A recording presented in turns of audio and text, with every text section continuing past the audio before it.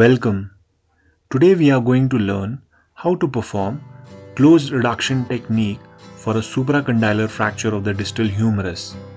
A 4-year-old girl presented to the to the emergency room with a history of fall on an outstretched hand with swelling, deformity, pain of her left elbow. It was a closed injury with intact distal neurovascular status. An X-ray was ordered and here is the AP view of the patient and we can visualize a fracture in the supracondylar area. The lateral X-ray gives more information about the fracture. Here we can see that the fracture is a complete fracture and a displaced fracture. Now because of the direction of the displacement of the distal fragment as it has moved posteriorly, here the diagnosis of an extension type of a supracondylar fracture is made and this uh, fracture doesn't have any contact with the uh, the distal fragment doesn't have any contact with the proximal fragment so this will be a Gartland's type 3 supracondylar fracture of the distal humerus. Now I shall demonstrate the close reduction and the K-wiring technique for the same. The child is the, the child was taken to the operation theater and given general anesthesia. The patient is placed supine on the operating table with the hand on an arm table. Now the first thing that we do is we give a traction in extension and uh, the traction is given uh, can be given by one person here my left hand is in the axilla giving the counter traction and with the right hand I'm holding the wrist and giving the traction. The traction has to be given for a period of 2 to 5 minutes in order to disengage the fragments. So here I'm asking my assistant to hold the arm so as to give the counter traction. Now once the enough counter traction has been given, a milking technique can be done so as to disengage the fracture from the uh, from the brachialis muscle. After this, uh, one has to do correction of the medial or the lateral translation and varus valgus deformity. Here I am doing the correction of the medial and lateral translation. Now once we have completed uh, this traction, milking technique and correction of the medial lateral translation, it is now time to correct the posterior translation and angulation. As you can see that my left hand I am grasping uh, the distal humerus such that my fingers are overlying the anterior uh, fragment while as my thumb is uh, pushing the olecranon and the distal fragment anteriorly. And uh, and uh, while doing that I will be slowly flexing the elbow and pronating the forearm. The pronation of forearm helps in a locking of uh, the fracture in posteromedial type of fractures. Now here I have flexed the elbow and as you can see while flexing I have pronated the forearm. As uh, this as you can see that the wrist of the child can easily touch the shoulder this is a sign that the reduction is complete now I'll take a shoot through image of the fracture and you can see that uh, this is called as the Jones view of the supracondylar fracture and you can see that both the medial and the lateral supracondylar ridges have been restored. The, both the columns um, have been restored and it looks as a, a well aligned uh, reduction. Also, you can see that the olecranon fossa is also an oval shaped uh, uh, thing that is visible on this shoot through x-ray. Now what we'll uh, try to do is uh, we will try to take a lateral view of the forearm. Here both the shoulder along with the locked forearm and wrist is rotated together externally so as to give get a lateral view. Here you can see the position of the of the elbow joint. So here is the lateral view of the of our patient and here we can drop an anterior humeral line which crosses the distal fragment in the middle one third so this is a good quality reduction that we have achieved in the lateral view.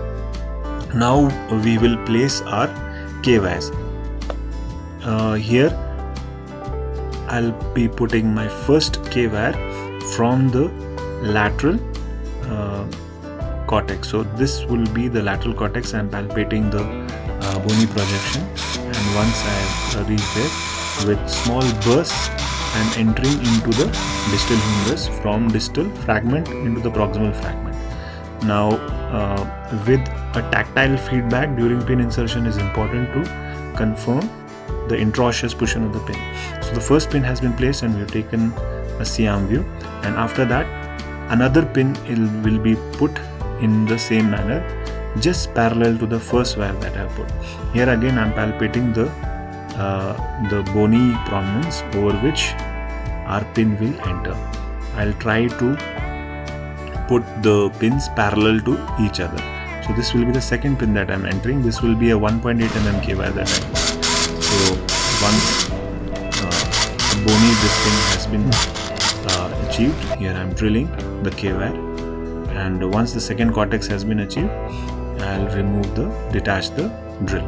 So once two K wires have been have gone uh, we take a confirmation view. Here is the AP view and here you can see both the wires look uh, parallel to each other and we have uh, maintained the reduction that we had achieved.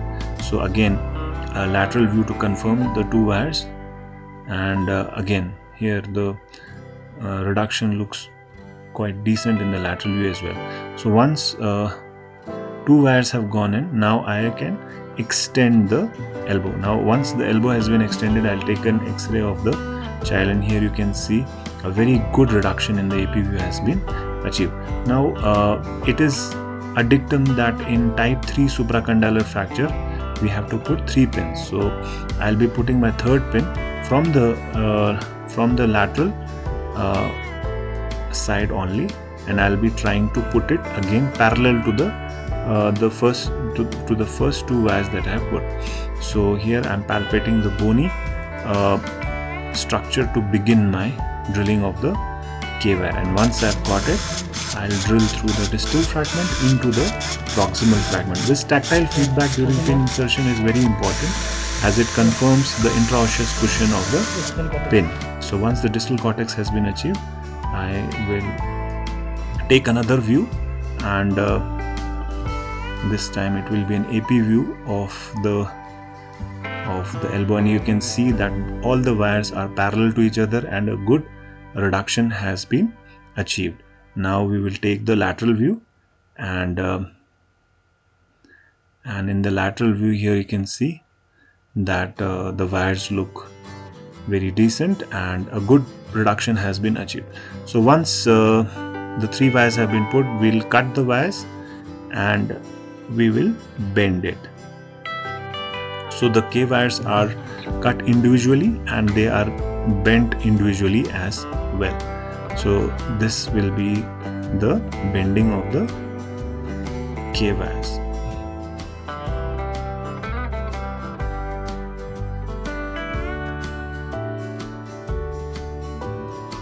uh, what I do after putting all my K wires is that I pull upon each K wire individually so as to get a resistance.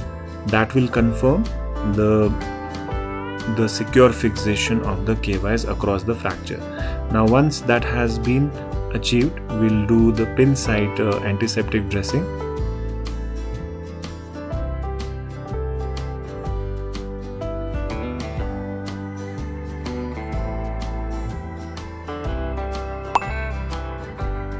now we shall apply an above elbow plaster of uh, Paris back slab and uh, the elbow will be kept in supination with a flexion of uh, around any angle between 45 to 90 degrees.